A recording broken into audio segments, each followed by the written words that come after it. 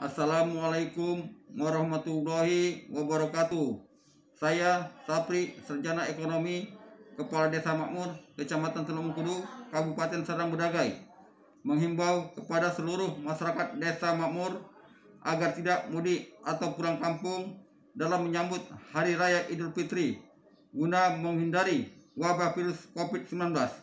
Dan saya menghimbau kepada seluruh masyarakat Desa Makmur mematuhi protokol kesehatan dengan menerapkan 5M, memakai masker, mencuci tangan, menjaga jarak, menghindari kerumunan, dan mengurangi mobilitas. Demikian himbauan saya sampaikan untuk dapat dipatuhi bersama.